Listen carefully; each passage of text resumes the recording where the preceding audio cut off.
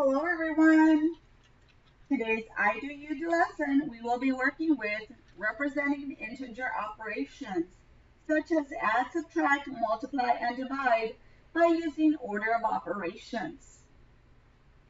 Let's start by reading the I do problem. Ramiro worked during the summer mowing lawns and managed to save $357. During the month of September, he deposited and withdrew money from the bank after depositing his initial $80. How much money did he have after his last transaction? On the right side of the screen, you will see the cube strategies we will be using today. We will start with circle or underline keywords. But if you prefer, you can also highlight. Managed to save $357. Month of September, he deposited and withdrew money from the bank after depositing his initial $80. How much money did he have after his last transaction? Next, we box our question.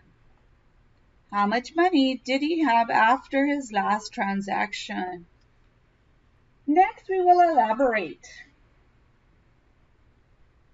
I will be using orange for the important information. Deposit and withdraw money. Initial $80 deposit.